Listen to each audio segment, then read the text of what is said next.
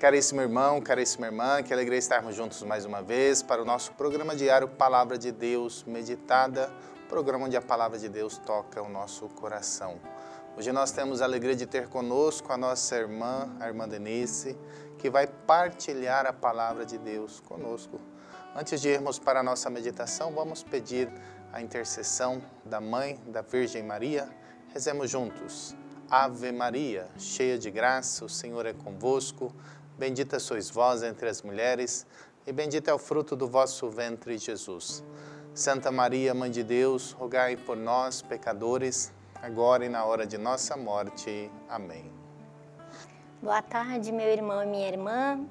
Nesta tarde abençoada pelo Senhor, estamos aqui para nos adentrarmos na Sua palavra através deste momento, a palavra de Deus meditada. Pedimos a Sua presença em cada um de nós, os nossos corações, que o Espírito Santo nos ilumine e abra o nosso coração e nossa mente para recebermos a palavra de Deus em nossa vida. E hoje a liturgia vai nos apresentar a leitura de Josué 3, versículos 7 a 10, depois do 11 até o 17. Você, meu irmão e minha irmã que está aí, acompanhe conosco essa leitura. Naqueles dias, o Senhor disse a Josué: Hoje começarei a exaltar-te diante de todo Israel, para que saibas que estou contigo, assim como estive com Moisés. Tu ordena aos sacerdotes que levam a arca da aliança, dizendo-lhes: Quando chegardes à beira das águas do Jordão, ficai parados ali. Depois Josué disse aos filhos de Israel: Aproximai-vos para ouvir as palavras do Senhor vosso Deus. E acrescentou: Nisso sabereis que o Senhor, que o Deus vivo, está no meio de vós, e que ele expulsará de vossa presença os cananeus. Eis que a arca da aliança do Senhor de toda a terra vai atravessar o Jordão diante de vós. E logo que os sacerdotes que levavam a arca do Senhor de toda a terra tocarem com a palma dos pés as águas do Jordão, elas se dividirão. As águas da parte de baixo continuarão a correr, mas as que vêm de cima pararão, formando uma barragem. Quando o povo levantou o acampamento para passar o rio Jordão, os sacerdotes que levavam a arca da aliança puseram-se à frente de todo o povo.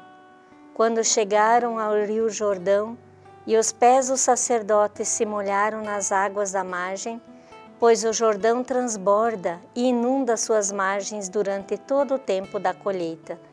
Então as águas que vinham de cima pararam, formando uma grande barragem até Adam, cidade que fica do lado de Sartã. E as que estavam na parte de baixo desceram para o mar de Arabá, o mar salgado até secarem completamente. Então o povo atravessou em frente a Jericó, e os sacerdotes que levavam a arca da aliança do Senhor conservavam-se firmes sobre a terra seca, no meio do rio, e ali permaneceram até que todo Israel acabasse de atravessar o rio Jordão a pé enxuto. Acompanhamos hoje a passagem do rio Jordão.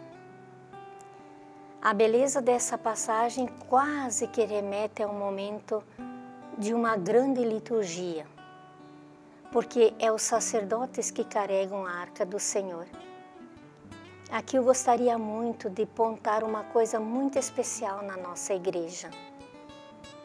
Muito bonita que nos eleva para a dignidade que nós temos no momento em que nós também estamos na presença daqueles que o Senhor confiou para guiar o seu povo. Josué sabe que a arca da aliança é o sinal presente de Deus no meio do seu povo. Quem a carrega são os sacerdotes. E que imagem mais linda! No momento em que os sacerdotes colocam os pés sobre a água, as águas se dividem. A beleza desse texto nos remete justamente a isso, a beleza desse serviço que os sacerdotes prestam em favor do seu povo. Não porque eles são melhores, mas porque eles são os escolhidos de Deus.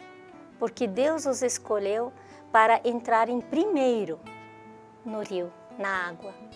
Serem os primeiros a entrarem, serem um exemplo do povo, o exemplo da confiança.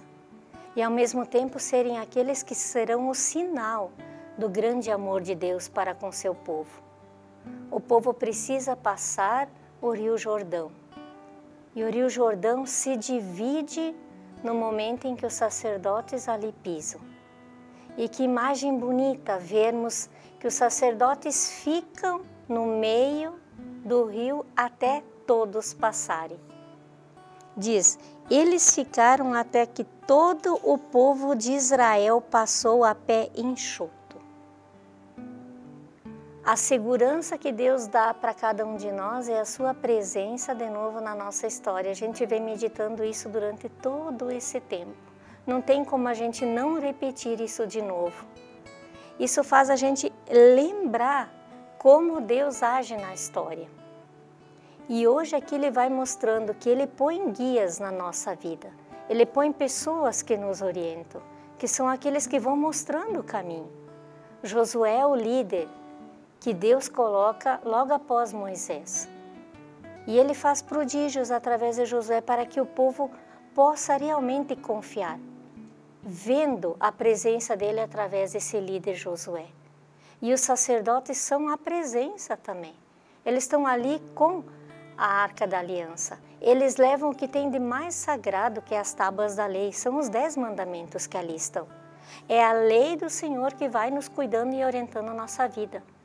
Quando nós conseguimos estar com a lei do Senhor, com a presença do Senhor, quando nós confiamos, nossa vida também passa a pé enxuto pelas dificuldades.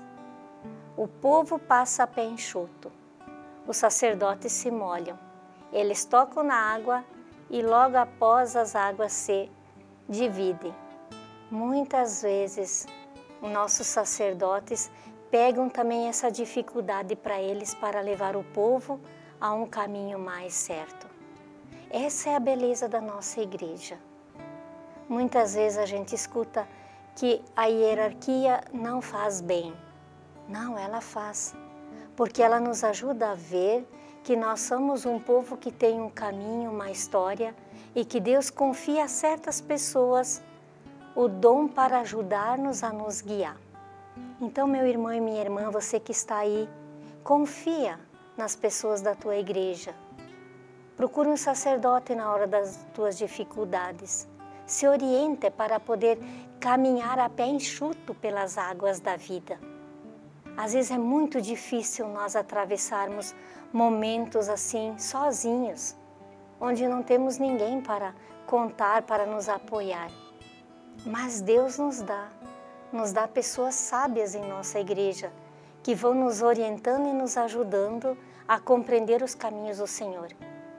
E com certeza nós poderemos também nós passarmos os rios com muito mais segurança, porque tem alguém que vai ficar ali para nos guiar e nos ajudar a fazer essa travessia. Então jamais se separe da tua igreja, jamais deixe que o Senhor seja o Senhor da tua história Fica sempre junto com os irmãos que te amam, os irmãos da tua igreja que te querem bem, para que você também possa, nas dificuldades da vida, caminhar como um povo de Deus, que atravessa o mar, que atravessa o Rio Jordão a pé enxuto. Glória ao Pai, ao Filho e Espírito Santo, como era no princípio, agora e sempre. Amém.